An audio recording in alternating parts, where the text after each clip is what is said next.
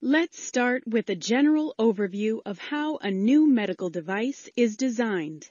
A regulatory affairs specialist will be involved in most of these steps. Prior to starting the development of a new medical device, there is often research done to investigate a technology and the feasibility of the device.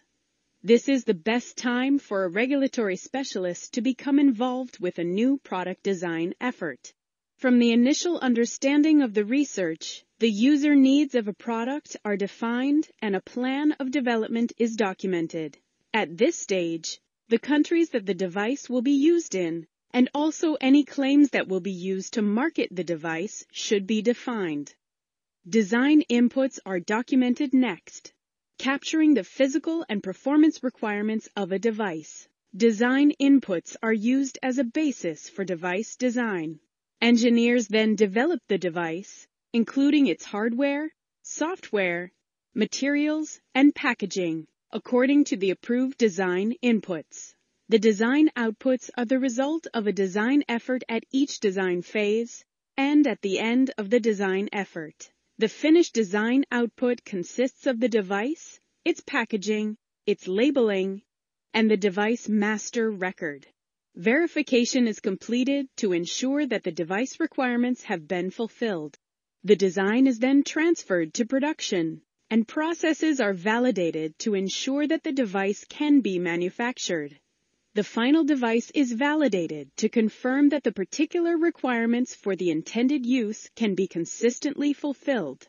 Validation can begin earlier in the process in some cases, but final validation of the device needs to occur using a production or production equivalent product. Design reviews are held throughout development. The number of them depends on the complexity of the design, the team, and many other factors. These reviews evaluate the adequacy of the design to meet requirements and identify problems so that they can be corrected prior to the release of the device. Risk management is a process that begins at the very beginning of the design process. Risk management continues throughout development and into the post-market phase. For products that use software, the software development lifecycle is also integrated throughout the design controls process. Depending on the country and the class of the device, regulatory documentation and submissions can be completed at different times. The product launch occurs after regulatory requirements have been met. In the US, it is important to remember that the device cannot be offered for sale prior to meeting requirements for pre-market approval or pre-market notification. In Europe, the device cannot be placed on the market before meeting the requirements for CE marking. A design change can occur at any time during development or after the launch of a medical device. A change can affect any element within design controls, and the design control process should be followed to evaluate the change.